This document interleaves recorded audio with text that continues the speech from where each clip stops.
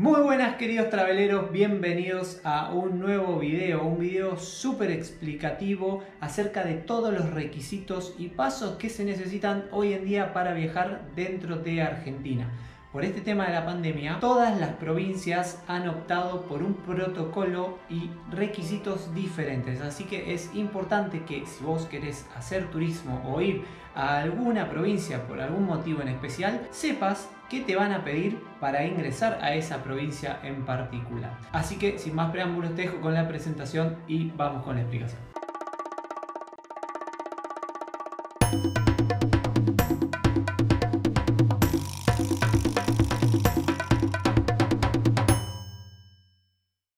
Para que sepas, hoy estamos en junio del año 2021. ¿Por qué te digo esto? Porque todas las semanas hay cambios con este tema de la pandemia. Todo el tiempo se están modificando los requisitos de ingresos, los formularios que tenés que presentar. Por ejemplo, en este video que te dejo acá arriba, hace una semana yo di todos los requisitos necesarios para ingresar a España, tanto si tenés el pasaporte europeo como si no lo tenés. Y sin embargo, una semana después ya tuve que hacer unas modificaciones en el video. Así que cuando veas este video, revisa la descripción por si hay alguna info actualizada. Cualquier cambio que haya yo te lo voy a dejar en la descripción. Ahora sí, comenzamos. Hoy en día, como te dije, cada provincia tiene su propio requisito.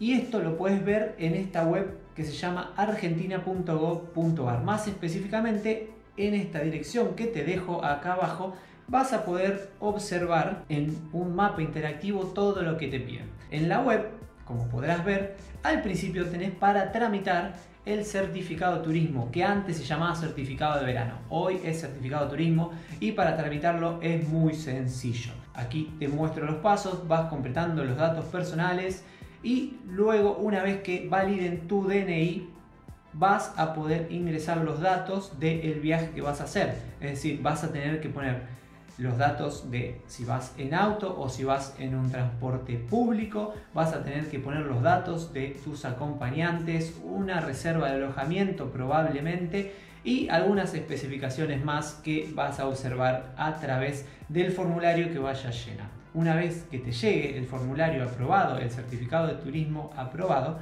vas a poder llevarlo y presentarlo de tres maneras diferentes. La primera es en formato físico, o sea, en el papel impreso, en PDF en tu celular y a través de la aplicación Cuidar. Si ya tenés la aplicación Cuidar, al ingresar en la sección Certificado de Turismo, se va a actualizar, el sistema va a comprobar los datos, no vas a tener que hacer prácticamente nada vos porque los va a validar con los datos del gobierno. Por otro lado, en esta misma página web si bajás vas a ver un listado de todas las provincias argentinas y lo que te pide cada una al hacer clic en el loguito de color verde que estás viendo en la pantalla.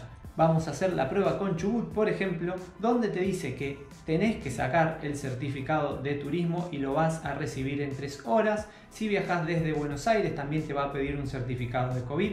Pide un seguro de viaje contra COVID o cobertura sanitaria y algunas restricciones más que podrás observar si haces clic en este iconito que dice conocer más. Bueno, así como te explicaba al principio, cada provincia tiene su requisito. El más común es el certificado de turismo, por eso es el que te explico específicamente. Luego hay algunas otras, como por ejemplo Santa Cruz, que pide una declaración jurada. Bueno, ya verás según vos a dónde viajes. Por último, algunas preguntas frecuentes que me han hecho en este último tiempo y es, por ejemplo, si yo viajo con mi familia, si le tengo que hacer un certificado de turismo a cada uno, en este caso no. Puedes tramitar un certificado de turismo para todo el grupo que vaya junto en este viaje.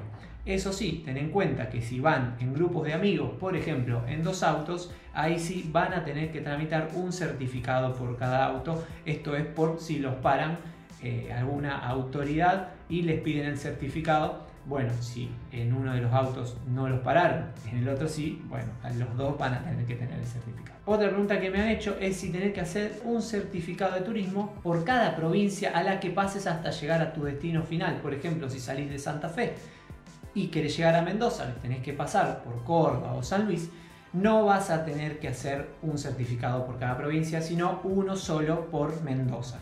si te lo piden en alguna provincia anterior, simplemente con el hecho de demostrar que vas hacia Mendoza y que tenés el certificado ya es suficiente. Bueno traveleros, espero que les haya servido este video. Si no están suscritos al canal, lo pueden hacer, que es totalmente gratuito y de paso me ayudan a seguir generando contenido.